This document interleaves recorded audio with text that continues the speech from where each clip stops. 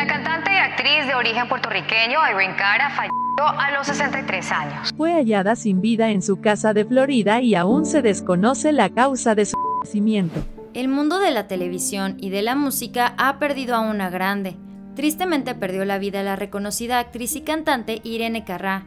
La artista fue encontrada sin vida en su casa. Esta noticia tristemente fue confirmada por su publicista Judith Mose en Twitter. Ella señaló que la artista perdió la vida en su residencia. Hasta este momento se desconoce la causa de su pérdida, la cual probablemente sea revelada cuando se dé a conocer a través de medios de comunicación. A través de la cuenta oficial de la cantante, su publicista escribió, No puedo creer tener que escribir esto, y mucho menos dar la noticia. Por favor compartan sus pensamientos y recuerdos de Irene. Estaré leyendo todos y cada uno de ellos, y sé que ella está sonriendo desde el cielo. Ella adoraba a sus fans. La cantante nacida en el Bronx, en Nueva York, llegó a este mundo el 18 de marzo de 1959. Irene era la más pequeña de cinco hermanos y comenzó su carrera en la televisión hispana. Su padre era puertorriqueño, mientras que su madre era cubano-estadounidense.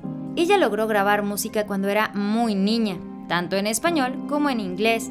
Ella apareció en una serie de musicales dentro y fuera del conocido Broadway, pero no fue hasta 1980 cuando saltó a la fama. Ella consiguió el papel de Coco Hernández y cantó la canción principal de Fama.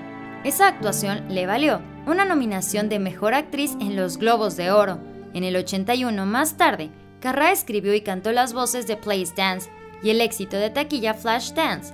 En el 83, ganó un premio Grammy a la mejor interpretación vocal pop femenina, así como un premio Oscar a la mejor canción original de Flashdance. Este se convirtió en la tercera película más taquillera del 83.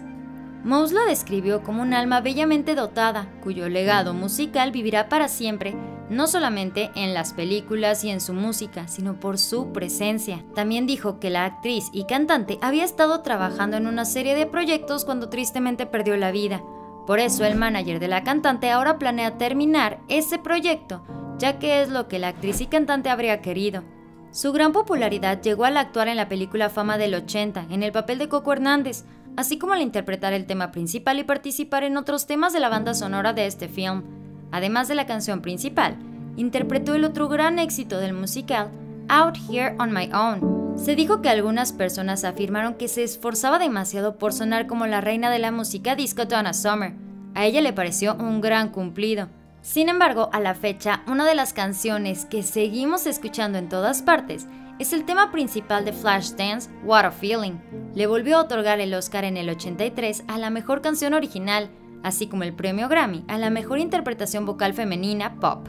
Esto fue Famosos de Cerca. Dale like a este video, suscríbete a nuestro canal de YouTube y síguenos en Facebook. Recuerda que puedes ver todos nuestros videos. Espero que tengas un hermosísimo día. Nos vemos muy pronto. Bye.